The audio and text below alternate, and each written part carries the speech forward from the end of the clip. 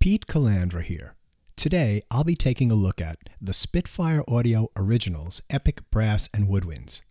This is essentially a repackaging of the original Legacy Albion library that was discontinued a while ago. As of now, late December 2019, the library sells for 29 US dollars. It contains three brass ensemble articulations and three woodwind ensemble articulations, with three selectable mic signals recorded at Air Studios and all housed in Spitfire Audio's own plug-in interface. The brass covers a four octave range, while the winds cover a range of six plus octaves and all of the sections were recorded in octaves. Before we get into the sounds, let's take a look at the player. This big dial controls the amount of reverb you can add to the sounds. In the upper right hand corner, you can change the velocity curve for both the live brass and live woodwinds articulations. I won't demo those curves here, but you can see which one works best for the controller you use. If you've mapped MIDI CC to fit your own setup by right-clicking on any control, you can reset them all here. We have three signals, close, room, which is a combination of the Decca Tree, outriggers, and ambient mics, as well as a distorted signal. Over here, you have another control for the reverb and a partial envelope control for release and tightness. Tightness cuts into the start of the sample, and the release adds a longer tail after you let go of the keyboard. While I'll make some comments here and there, the rest of the video will be mostly playing the sounds.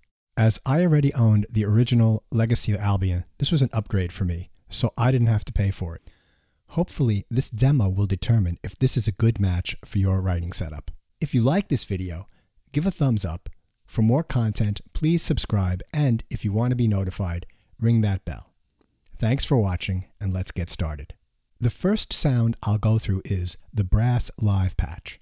This is a utility patch for general playing with dynamics controlled by MIDI velocity.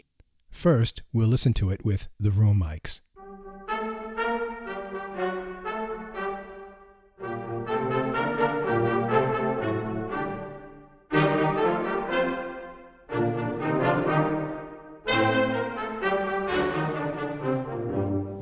Watch your ears. Can you get a little loud for a second?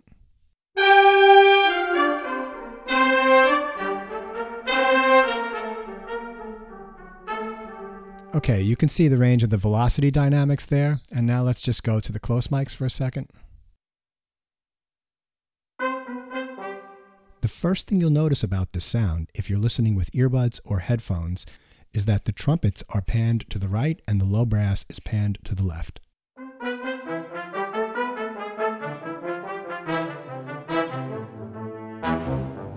This next bit will be a bit louder. Watch your ears.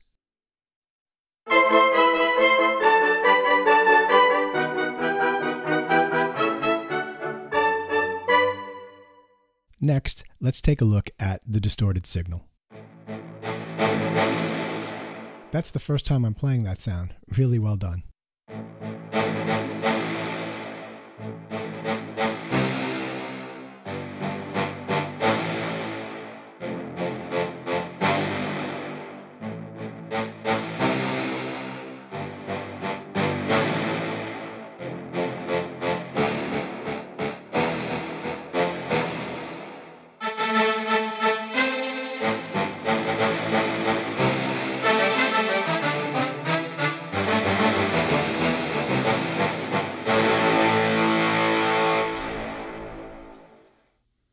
Moving along, let's go to the sustained brass.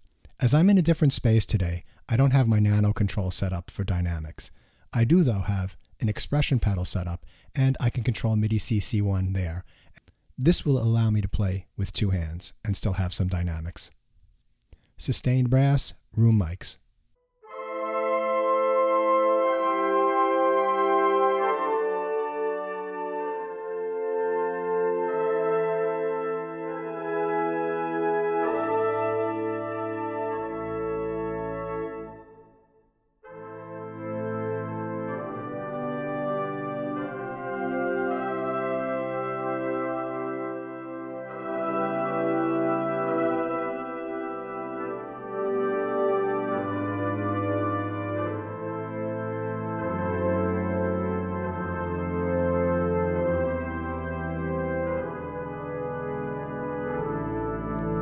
The next bit will demonstrate the dynamic range, so watch your ears, it gets loud.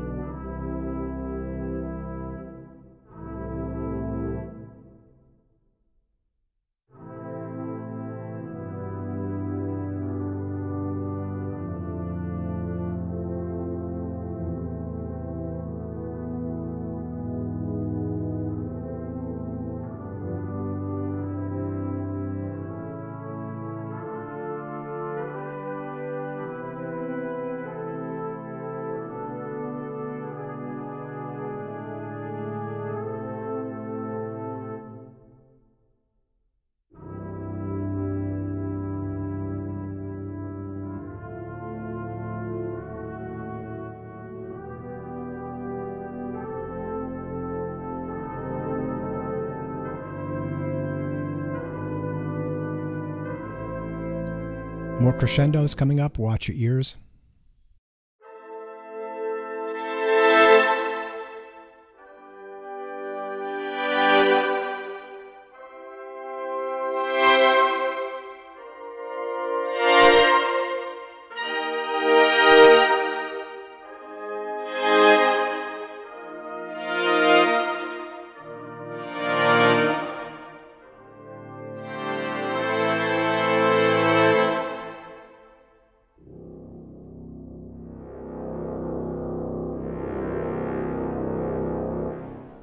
If you pay attention to this slider here, you'll be able to follow my dynamic moves.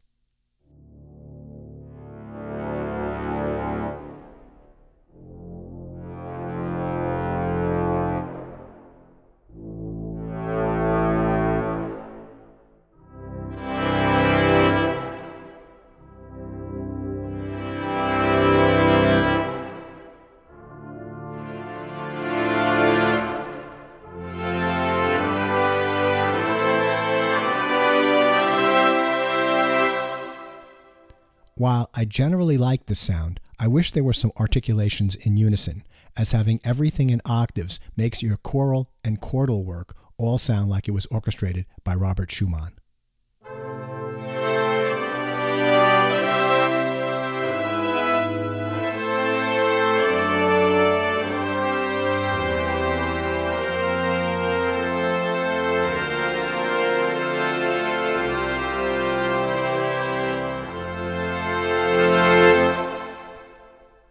Okay, next, let's take a look at the close mic and how that sounds with this articulation.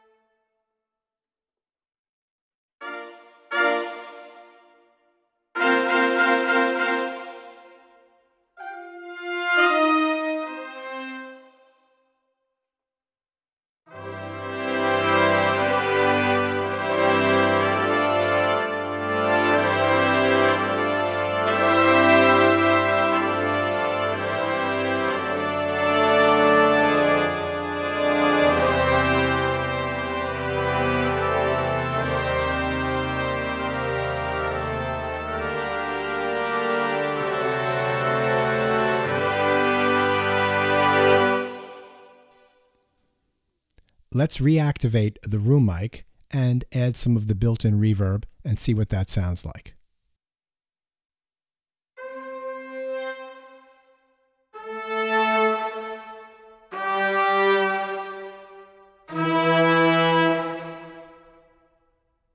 Take a listen to the reverb tail after I release a note and see what you think of that.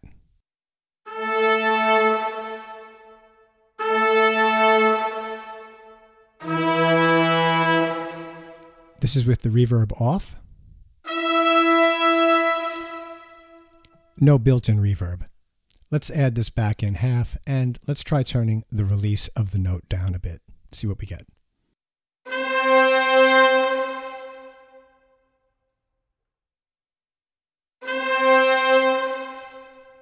Let's turn the reverb up.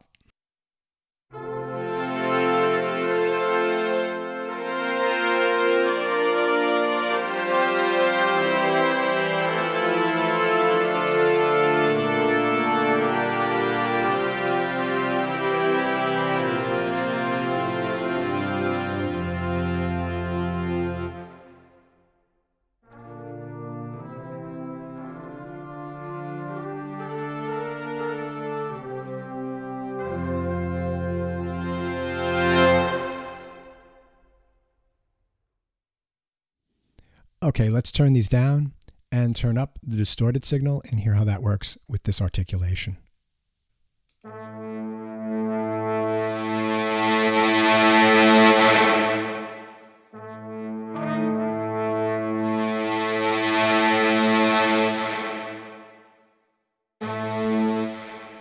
I think I'd really enjoy playing this if the pitch bend wheel were set up to work. Let me take a look at this. I see. This is the octave of the keyboard that's shown.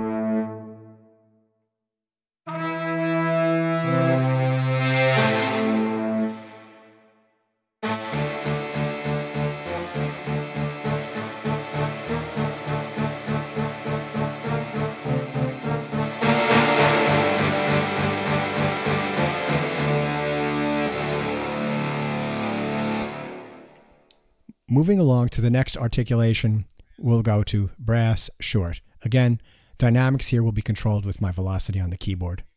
And we're starting off with just the room mic.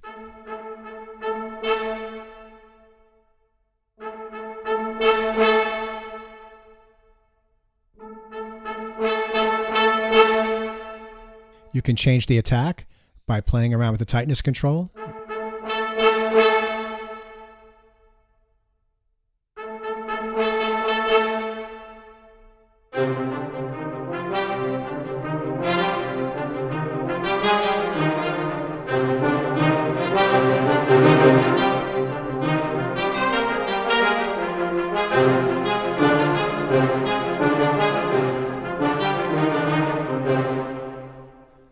think I'd like a drier sound for this, so let me turn down the room a bit and add some of the close mic to this sound.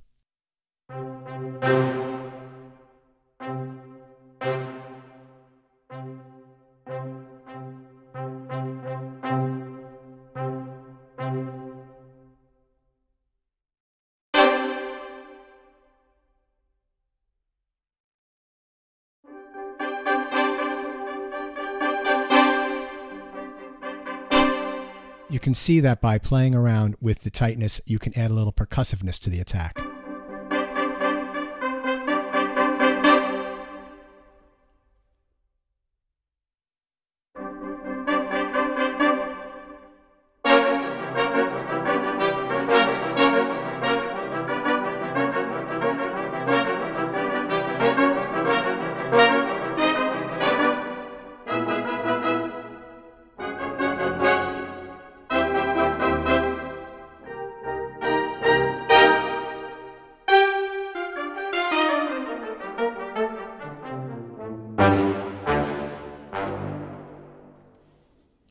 Moving along, let's go to the distorted signal and see what that sounds like.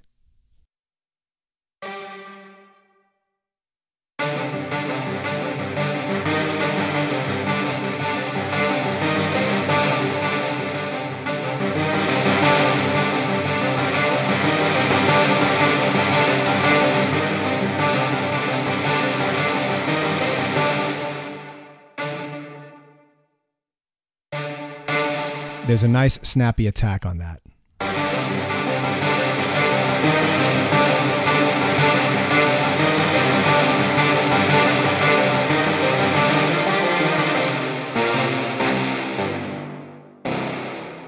And that's a good representation of the brass part of this library.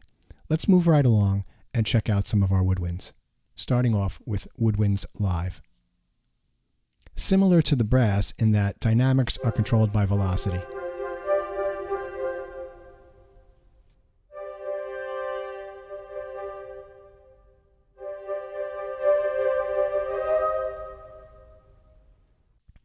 Okay, let me improvise a little something using the sound, and we'll start with just the room mics.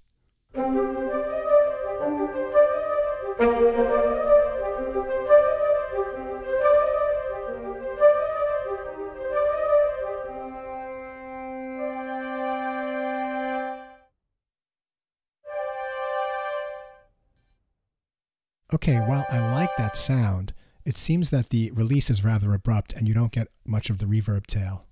Let me turn up the built-in reverb and play that again. Let's add a little bit more of the built-in reverb.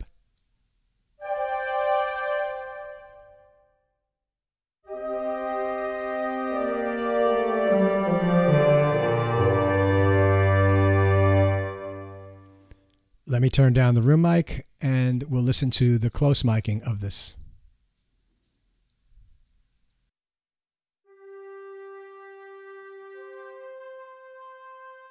One thing I really enjoy about the woodwind patches is the extended range. I'll explore that in more detail with the long and short articulations.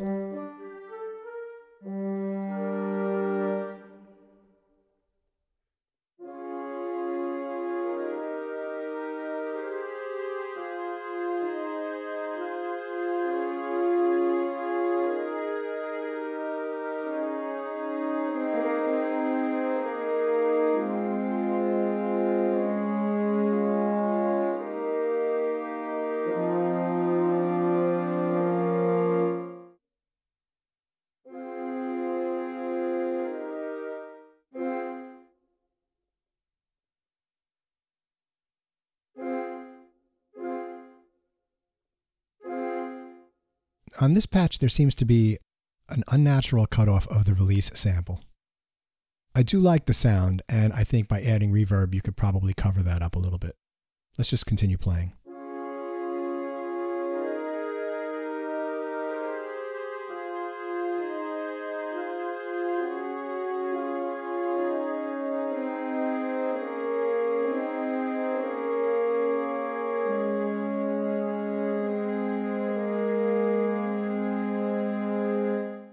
Demonstrate the point about adding reverb, let's actually do it with the built-in reverb.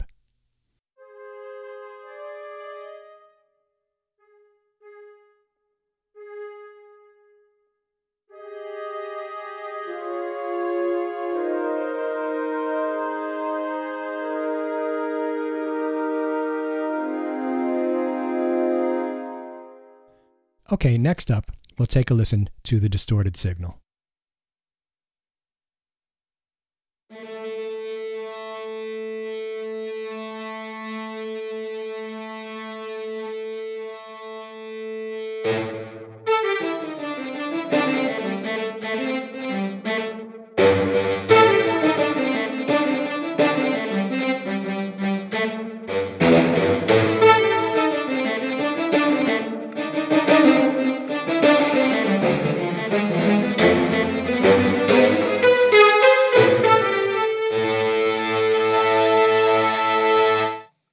Right along, let's go to the winds long articulation. Let's get the room mics set up here. So we have the same starting point as the last one. And again, with this patch, I've got the mod wheel mapped to an expression pedal. So I'll be able to control dynamics with my feet and play passages with two hands. Let's get started.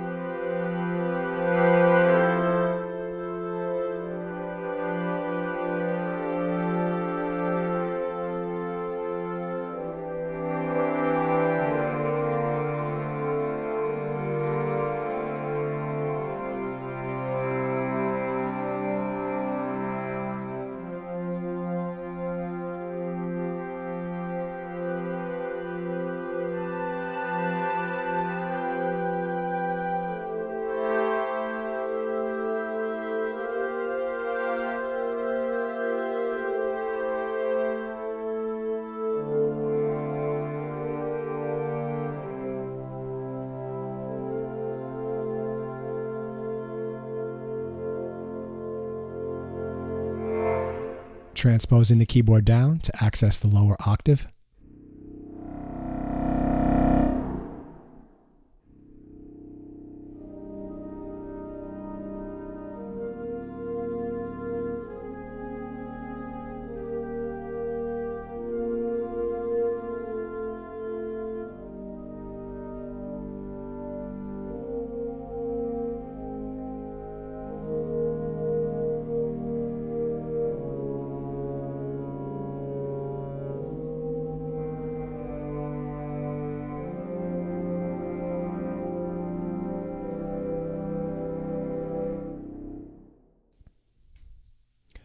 Transposing it up to access the upper octaves.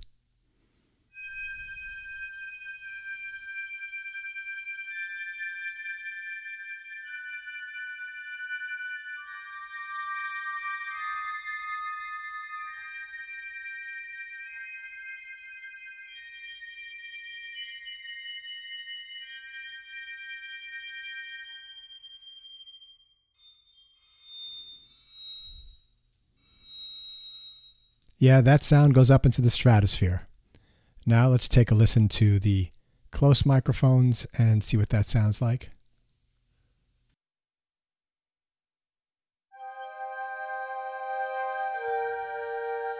The first thing I notice about this is it seems to be a very mono signal.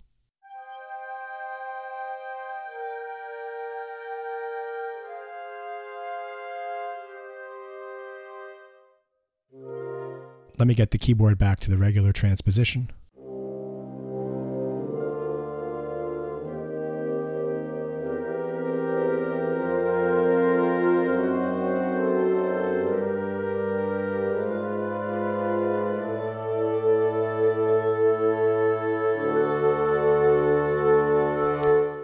Let's try blending some of these mics together. So we'll bring down the close a little bit. We'll bring up the room mic and add some of the built-in reverb to the sound and see what we get. This is a really beautiful sound, and I think with all this ambience in it, I'll enjoy playing it even more.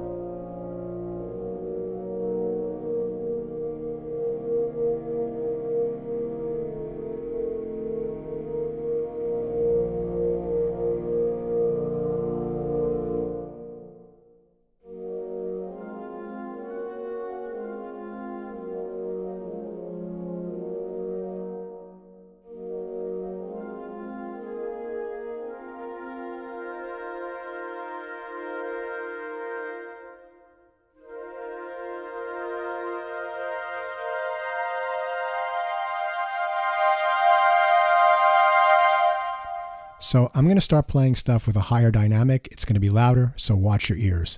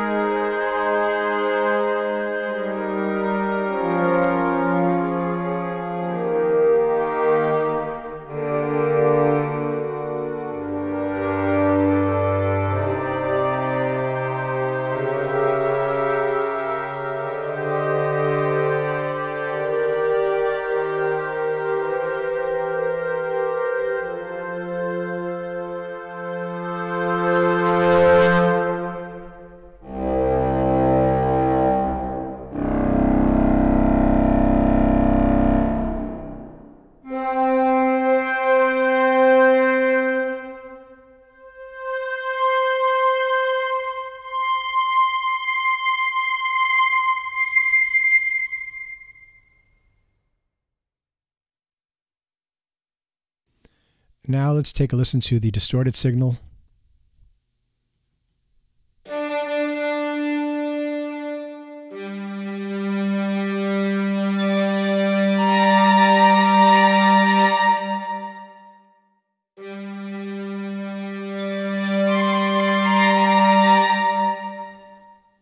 I like that sound.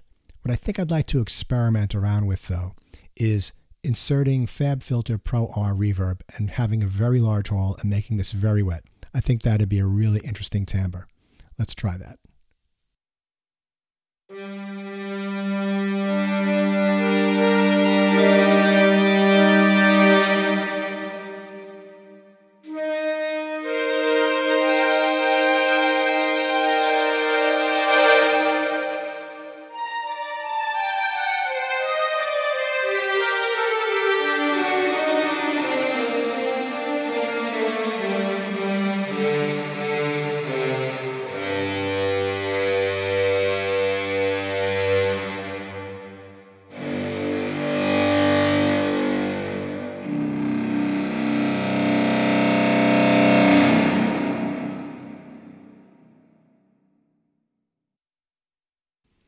Moving along, we'll go to the short articulations of the woodwinds. These are velocity controlled. And again, we'll start out with the room sound.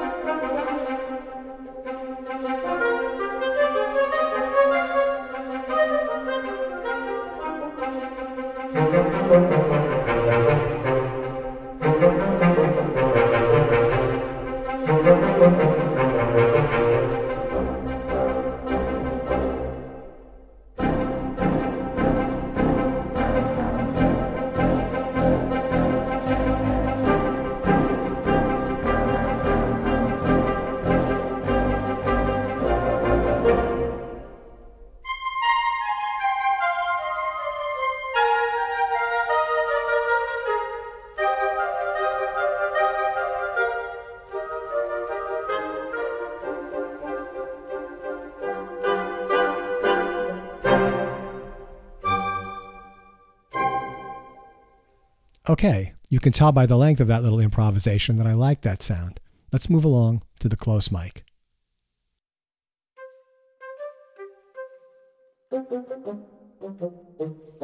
Uh, let's play in a different key.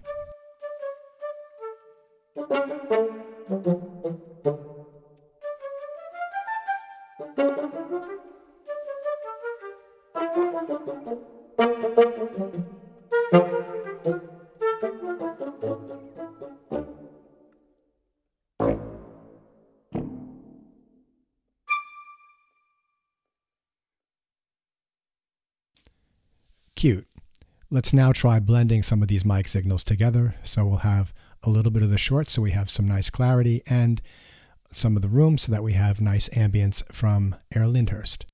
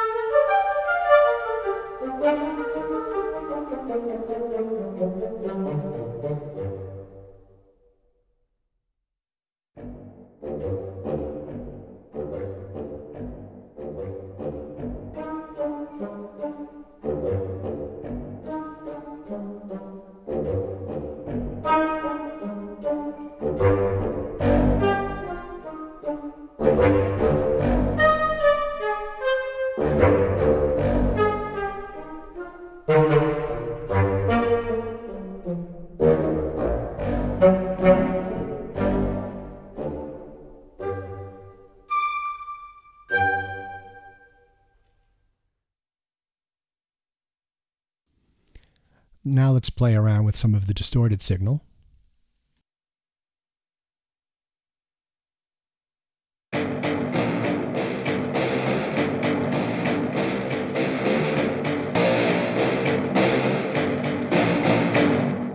And adjust the tightness for a more articulate attack.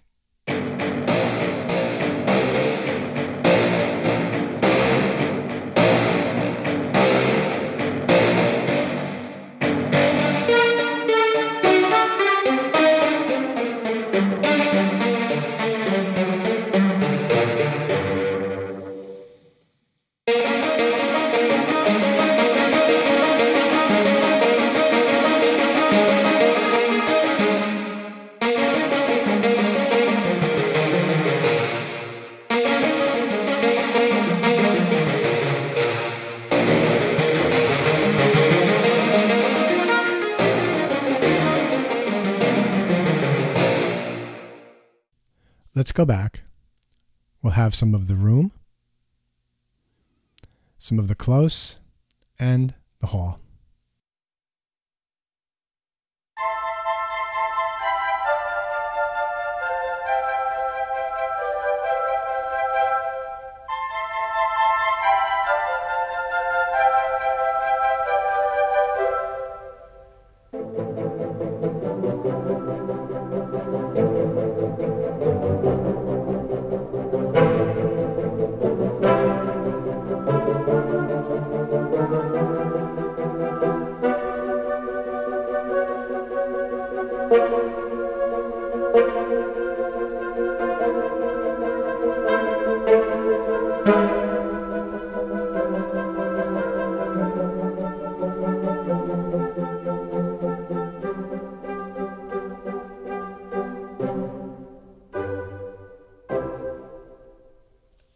All right, some final thoughts.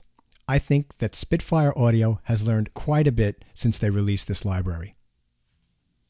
Having the brass in octaves is a bit of an issue for me as it kind of limits the harmonic content as there's so much doubling going on. It can make things very muddy. That being said, at the very quietest dynamics, it's a beautiful sound. I do think that the woodwinds on here are really beautiful. And while there is a bit of an issue with some of the short release samples on the close mics, when you blend the room and close and add some of the built-in reverb, you don't hear that at all. What you get is a beautifully recorded and very expressive ensemble woodwind patch. Who's this good for?